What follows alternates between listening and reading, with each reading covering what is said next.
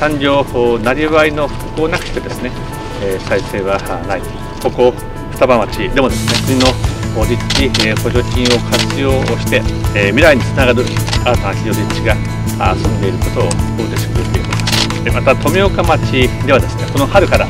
救急医療のためのえ医療施設が動き出しました医療は生活の根幹住民の皆さんが安心して帰還していただくためにもですね医療をはじめ生活インフラの整備に国としても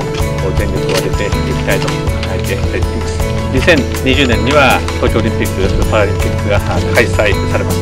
日本が福島が復興した姿を世界に